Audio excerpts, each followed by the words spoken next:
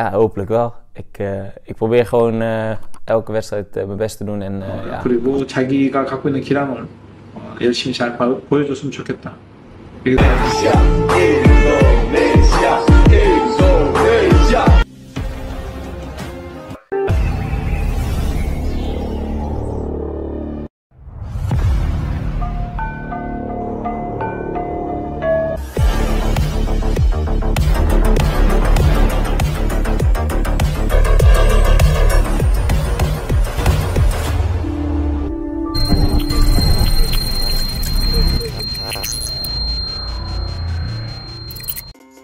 Gelandang klub Gelombang pemain keturunan Indonesia di Eropa yang berminat untuk membela timnas Garuda semakin deras dari hari ke hari.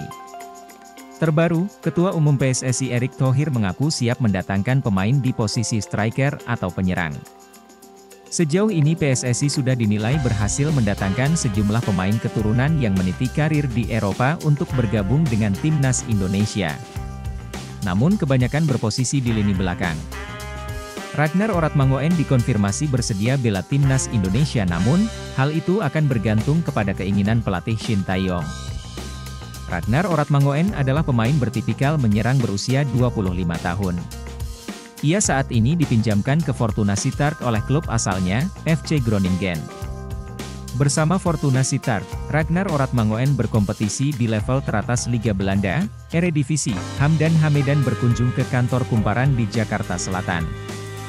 Ex-utusan PSSI yang kini merupakan tenaga ahli Kemenpora bidang diaspora dan kepemudaan itu bertutur soal Liga Tarkam Kemenpora dan atlet diaspora. Ketika ditanya apakah pernah ada komunikasi antara dia dan Ragnar Oratmangoen, Hamdan mengiyakan. Hamdan juga membenarkan bahwa Ragnar bersedia membela timnas Indonesia. Ragnar Oratmangoen mengatakan kepada saya bahwa dia berminat untuk membela timnas Indonesia, kata Hamdan Hamedan. Sementara itu, PSSI saat ini tengah membidik beberapa pemain keturunan untuk memperkuat timnas U23 atau timnas senior. Salah satunya adalah Nathan Choaon yang baru saya dihubungi oleh PSSI. Saya berbicara dengan salah satu staf PSSI tentang bagaimana mereka melihat saya. Mereka awalnya tidak tahu bahwa saya adalah keturunan Indonesia. Tapi, mereka senang karena sekarang sudah tahu, kata Nathan Choaon. Mereka mau saya bermain untuk Indonesia. Karena itu, saya harus memiliki paspor Indonesia terlebih dahulu dan akan menjadi langkah awal yang harus dilewati, lanjutnya. Gelandang klub Spanyol Ciudad Real, Michel Van Rooijen kirim kode ingin dinaturalisasi timnas Indonesia. Sinyal minat dinaturalisasi skuad Garuda itu, disampaikan, pemain 24 tahun tersebut melalui unggahan Instagram Story. Mulanya Van Rooijen dikaitkan dalam unggahan salah satu basis supporter timnas Indonesia. Unggahan tersebut berupa tawaran jadi pemain timnas Indonesia. Are you ready for timnas Indonesia Mitchell Van Rooijen? Tulis akun tersebut. Mitchell Van Rooijen kemudian mengunggah ulang unggahan tersebut di Instagram Story. Unggahan ulang itu jadi sinyal bagi PSSI dan timnas Indonesia bahwa sang pemain ingin dinaturalisasi. Sebelumnya sejumlah pemain keturunan melakukan hal yang sama. Cyrus Margono yang saat ini jadi kiper di klub Yunani Panathinaikos juga pernah melakukan unggahan serupa, Mitchell van Rooijen merupakan kelahiran Utrecht, Belanda. Van Rooijen dilaporkan memiliki darah Indonesia karena salah satu orang tuanya berasal dari Maluku. Dibandingkan dengan pemain-pemain keturunan yang sudah memperkuat timnas Indonesia, Van Rooijen bisa jadi pemain yang berasal dari klub Eropa dengan kasta paling rendah. Klub Van Rooijen, Ciudad Real, saat ini tampil di kasta keempat Liga Spanyol. Pada musim 2023-2024, Van Rooijen sudah tampil dalam enam pertandingan di Segunda Federacion selama 447 menit. Situs Transfermarkt mencatat, Mitchell Van Rooijen termasuk sebagai pemain serba bisa. Van Rooijen sering dimainkan sebagai sayap kanan, namun juga kerap ditempatkan sebagai gelandang tengah dan gelandang bertahan.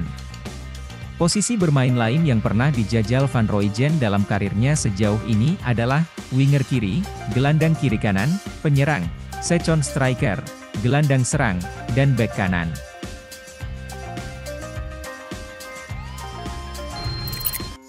Shin Taeyong mohon jangan ada diskriminasi antara pemain lokal dan naturalisasi yang bela timnas Indonesia. Pelatih timnas Indonesia, Shin Taeyong, kanan, sedang memberikan instruksi kepada para pemainnya saat berlatih di Stadion Utama Gelora Bung Karno, Senayan, Jakarta, Rabu, 11 Oktober 2023. Pelatih Shin Taeyong memohon jangan sampai ada unsur diskriminasi antara pemain lokal dan naturalisasi yang kini memperkuat timnas Indonesia. Maka dari itu, Shin Taeyong mengingatkan agar semua pihak bisa menghargai. Di skuad timnas Indonesia yang baru saja menaklukkan Brunei Darussalam pada putaran pertama kualifikasi Piala Dunia 2026 zona Asia, terdapat empat pemain naturalisasi. Mereka adalah Mark Locke, Sandy Walsh, Shane Patinama, dan Rafael Struik. Hanya Rafael Struik yang tidak mendapat kesempatan bermain di laga kontra Brunei Darussalam ini pasalnya, kondisi Rafael Struik dalam keadaan kurang fit. Tolong jangan beda-bedakan antara pemain lokal dan pemain naturalisasi, kata Shin Taeyong saat ditemui wartawan, memang tim punya taktik sendiri. Jadi tolong hargai saja, kata pelatih asal Korea Selatan tersebut. Putaran kedua kualifikasi Piala Dunia 2026 yang mulai bergulir pada November 2023, Timnas Indonesia dijadwalkan melakoni dua pertandingan grup F pertama, Timnas Indonesia menantang Irak, Kamis 16 November 2024. Dilanjutkan berjumpa Filipina, Selasa, 21 November 2023. Diakui Shin Taeyong, Irak yang menjadi lawan pertama di grup F pastinya akan menyulitkan bagi anak asuhnya. Berkaca dari ranking FIFA, Irak di atas dari timnas Indonesia, memang pertandingan apalagi away lawan Irak, kata pelatih asal Korea Selatan tersebut.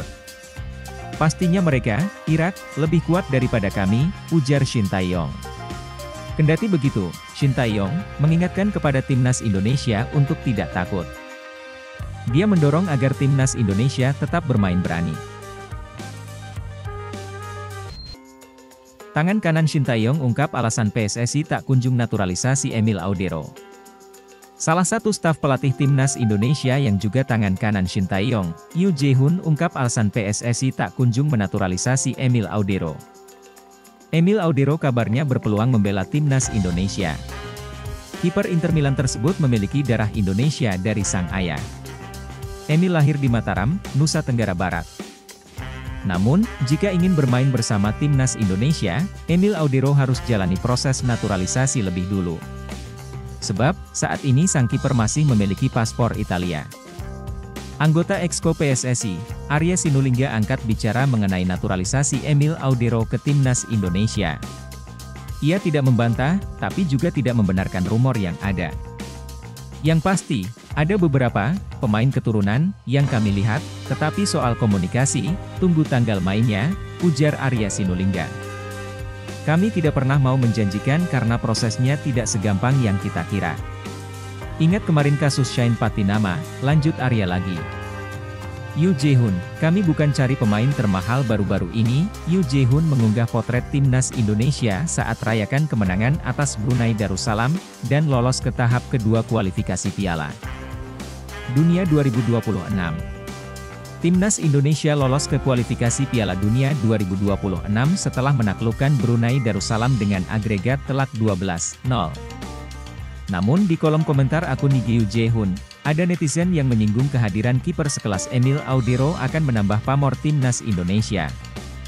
Emil Audero jika dinaturalisasi akan menjadi pemain termahal dalam skuad timnas Indonesia, ungkap pemilik akun Instagram Esra tersebut, Yu Jae-hun langsung terpancing dan membalas komentar itu. Menurutnya, timnas Indonesia saat ini mencari pemain yang sesuai kebutuhan, bukan soal gengsi. Kami cari pemain yang bisa membantu timnas kita, bukan cari pemain termahal, belak-belakan Yu Jae-hun atau yang akrab disapa Pace itu. Jika benar demikian, maka alasan mengapa PSSI berlarut-larut dalam rumor naturalisasi Emil Audero, boleh jadi karena sebenarnya Shin Taeyong tidak terlalu memerlukannya.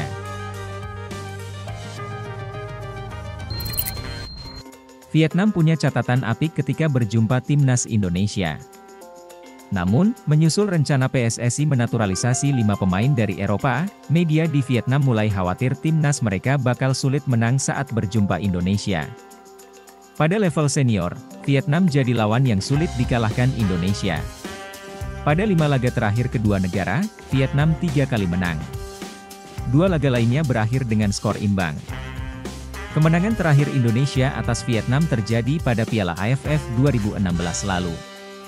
Ketika itu, Indonesia menang dengan skor 2-1 lewat gol Hansa Muyama dan Boa Solosa. Setelah itu, Indonesia tak pernah menang atas Vietnam. Di tengah dominasi The Golden Star, rencana naturalisasi yang digaungkan PSSI membuat kubu Vietnam ketar-ketir. Yuk simak ulasan lebih lengkapnya di bawah ini ya bola netas.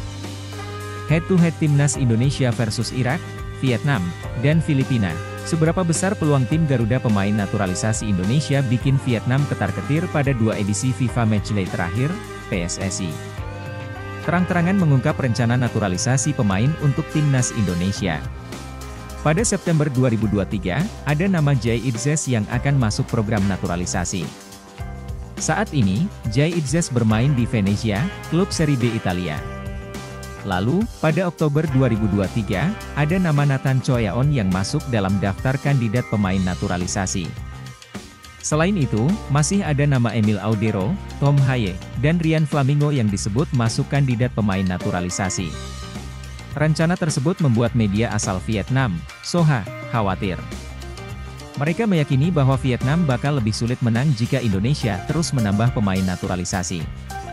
Pra persaingan antara dua negara, Indonesia dan Vietnam, dalam waktu dekat mungkin akan sangat berbeda karena keduanya memiliki banyak perubahan, ulas media asal Vietnam, Soha.